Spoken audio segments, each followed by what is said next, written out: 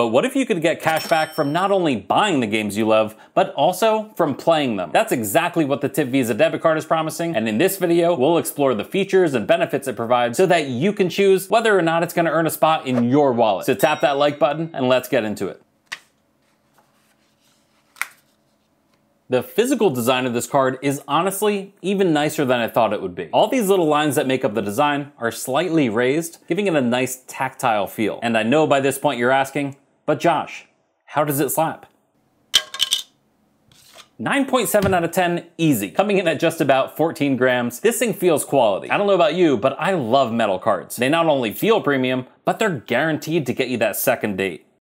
Okay, your mileage may vary, but let's move on. So the metal cards are limited edition and will only be issued to the first 10,000 members. And this video is sponsored by TIV, but all the opinions I share within this video are my own. And I just want you to know, I simply wouldn't take a sponsorship deal if it weren't a product that I truly believed would bring value to your life. So as a lifelong gamer, I love that this card gives elevated rewards for not only spending money at retailers like Xbox, Steam, Discord, and Twitch, but for actually playing games. And better yet, the TIV debit card has no annual fee. The TIV ecosystem is centered around their mobile app, where you can earn points for completing quests. You can then take those points and redeem them for actual US dollars, like these. For frame of reference, 100 TIV points equals $1. So it's really straightforward and simple to calculate how much your points are worth. A lot of the time, rewards points can be confusing, making it difficult to really nail down exactly how much cash back you have. But with TIV, simply multiply the number of points you have by 0.01 and that right there is the cash value of your points. Now, back to the fun part, the quests. The quests within the app will either be starter quests or they'll be monthly quests. Some quests will be broad, requiring you to simply play a certain number of hours of the game of your choosing, while other quests may require you to play a particular game. So when you first create your TIV account, you'll see a variety of quests that are waiting to be completed. If it's a monthly quest, you'll see a shield next to it, and this indicates that this particular quest can be impacted by the multipliers. So if you have a 100 point quest in your available quests, it'll be worth $1 in cash back if you're at the base 1x multiplier, but if you've unlocked the 5x multiplier, it'll jump all the way up to 500 points, which will be worth $5 in cash back. And the great thing about these quests is that TIV is constantly releasing new quests to be completed. Every single month, you'll have access to a brand new set of gaming quests. And you may even see limited time quests pop up in your app from time to time, so you'll want to check your TIV app regularly so that you don't miss out on free money. And it may be a good idea to enable TIV notifications so that you don't miss out. But how do we unlock the different multiplier levels? You do this by making purchases with your TIV debit card. Every $250 you spend on your TIV card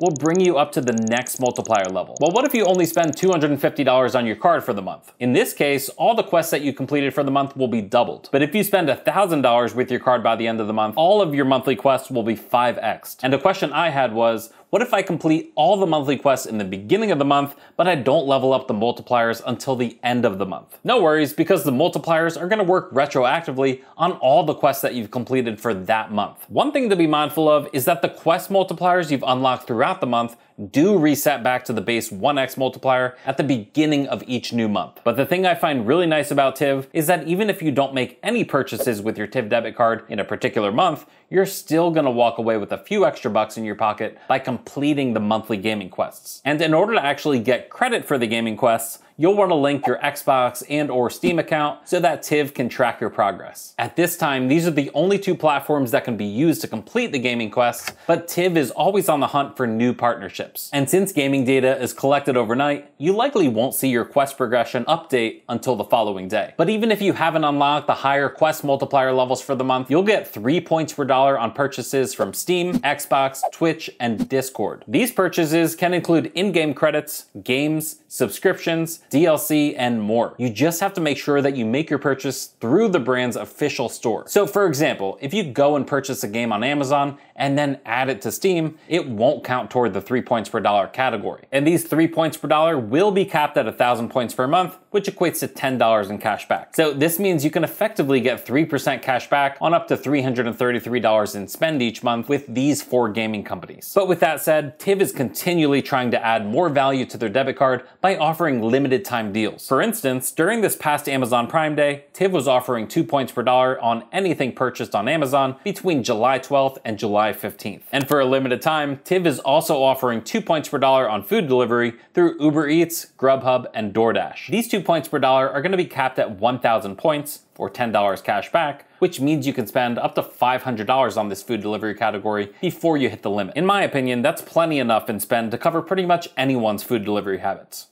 Right? So in addition to the 3 points per dollar that you'll earn through Xbox, Steam, Twitch, and Discord, this spend also goes towards unlocking the next quest multiplier. This is essentially double dipping, because you get your 3 points per dollar, but that spend also goes toward your quest multiplier increasing the points you'll get from your monthly quests. TIV's goal is to provide at minimum $20 worth of quests each month, assuming you unlock the 5x multiplier. And that's exactly where TIV is coming up with the earn 360 plus dollars a year on their website. You can earn $10 per month from spending in the gaming category, and you can earn at least $20 per month from the gaming quests. So that's $30 per month multiplied by 12 months in a year, comes out to $360 in rewards. And to figure out the true cashback value of the TIV debit card, let's say we optimize our spend, each month we spend $333.33 on gaming and $666.67 on literally anything else. This will unlock the 5x multiplier every month and get us the maximum 3 point per dollar value from the gaming category spend. Over the course of the year, we've spent $12,000 and we've gotten $360 in cash back. This will effectively be at minimum 3% cash back for the entire year. And be mindful, this is the bare minimum, not including bonus quests or bonus spend categories that TIV may add in the future. It's honestly a pretty good deal especially for a free debit card. And on top of that, TIV is also offering a handful of starter quests. Some examples of these starter quests include opening a TIV debit account, making your first deposit, linking your Xbox and Steam accounts, spending at least $25 in the gaming category, and unlocking the different quest multipliers. All in all, on my end, I'm seeing at least a thousand points worth of starter quests. And when you're ready to redeem your points for the first time, you'll need a minimum point balance of 1,000, which is gonna equate to $10 in cash back. And then for any subsequent redemption redemptions, you'll only need a minimum point balance of 500. Now, since this is a debit card and not a credit card, there's not gonna be a credit check when you apply for a new account. While we typically associate cashback rewards with credit cards, this isn't the case with TIV. It's a debit card, so it won't have any impact on your credit, and you'll only be able to spend what you actually have deposited in your TIV account. But on the other hand, since it's not a credit card, it's not gonna help you build credit so make sure to keep that in mind if building credit is important to you. And to get started with TIV, you'll have to download the TIV app from the App Store, which you can find a link for down in the description below. At the time of recording this video, TIV is only available on iPhone, but they do have an Android app that the development team is actively working on. As an Android user myself, I'm currently using my wife's iPhone to complete my quests, so fingers crossed that the Android app gets released relatively soon. If you are an Android user like me, TIV does have a waitlist you can join, so you'll get notified once it's available. And TIV also has a free Discord channel where you can chat with the TIV support team and other gamers. If you do decide to open a TIV account, they are going to require you to provide your legal name and social security number, which the card issuer is actually required to do by law here in the United States. This requirement is in place in order to verify your identity. But rest assured, this data is safely handled by TIV and is not stored once they successfully verify your identity. And yes, this debit card is currently only available for individuals 18 years or older who live within the United States. And while we're on the topic topic of data and privacy, you can rest assured that TIV will never sell your personal data. But you may be asking yourself, where can I physically use this card and where can I not only withdraw cash, but where can I deposit it? Since TIV has no physical locations like traditional brick and mortar banks, they give their customers access to deposit and withdraw cash from any ATM in the Allpoint ATM network within the United States. The Allpoint ATM network is really extensive with over 55,000 locations nationwide. Now you can always withdraw your funds from an out-of-network ATM as well, but it's preferable to stay in-network so that you avoid paying any additional fees. And this goes for most other debit cards as well. You generally want to stick with their in-network ATMs. And as far as depositing funds into your TIV account, my personal preferred method is ACH, which allows you to transfer funds to and from a linked bank account free of charge. Now, ACH deposits typically take two to three business days to complete, but if you submit your ACH deposit before 3 p.m. Eastern Time, it should arrive the next business day. And cash deposits at Allpoint ATMs will typically be available same day. You should know that TIV is working toward implementing additional funding options. Now, there are withdrawal limits for your TIV account, which is really common for these type of accounts. For outgoing ACH transfers to a linked bank account at another bank, the limit is $1,000 per day, and $10,000 per month. For ACH transfers that are initiated from a merchant or another bank using your TIV routing and account number, there is no withdrawal limit. And there's a $500 per day ATM withdrawal limit and a $2,500 per day debit card transaction limit. And since the TIV debit card is a Visa card, you'll be able to use it to make purchases wherever Visa is accepted, which is almost everywhere. And the TIV app has a really nice feature that allows you to lock and unlock your TIV card with the press of a button. This gives you peace of mind that your account is secure and your money is safe. Plus, the bank that's partnered with TIV is Blue Ridge Bank out of Virginia, and your funds are FDIC insured up to $250,000. And TIV was founded by Jed Strong and JP Pillat, who both have extensive history in the gaming space, so you can rest assured that they have a good idea of what it is that gamers want. I know this is an important factor for me because it's nice knowing that the founders are actually interested in gaming themselves rather than just trying to make money off of us. Another question I see is, well, what's the catch and how does TIV earn money? So there's no catch. When you use your debit card to make a purchase, the merchant has to pay what's called an interchange fee. In this case, it's a small percentage of the purchase amount that gets paid to TIV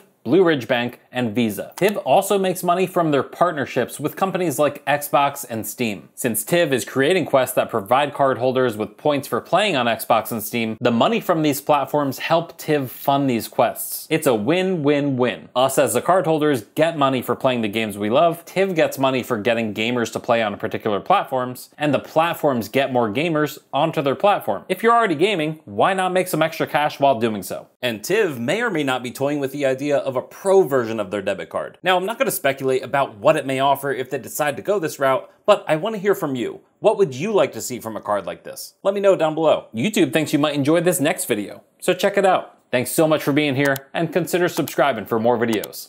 Peace.